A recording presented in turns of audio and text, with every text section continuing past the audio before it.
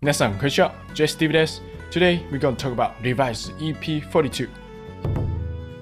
The trailer of the TTFC Part 2 spin-off is released, Birth of Chimera. In the trailer, we can see Hashimoto Shohei-san is using the Chimera driver with King Crab bystander to henshin into a new Kamen Rider Chimera. Kamen Rider Daimon is also appearing in the spin-off. Looks really interesting and I can't wait to see that. Alright, there are a lot of new info to discuss today, so let's see one by one. Number 1. Kamen Rider Vail Power Up version. Seems like the new form is henshin by Papa-san, a blue and white color rider with red eyes. The form is gonna appear in the Revice movie as well. Number 2. Vail Driver Upgrade version and Hercules Bystander. The upgrade item is a blue and yellow color item which attached to the both side of the driver. Seems like the new Hercules Bystander is also blue and yellow color. Number 3. Vail Power form.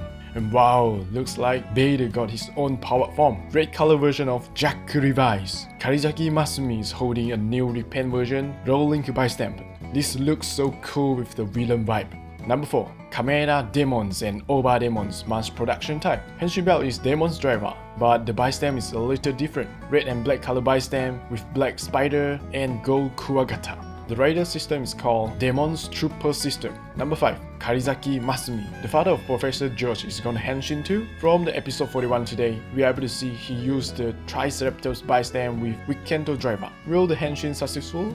Number 6. Igarashi Daiji. So Daiji is going back to his family soon? Number 7. More new Vistamp. The Vistamp page is flipping to a new page with Giffard Rex Vistamp, which means there will be another 8 more new Vistamp.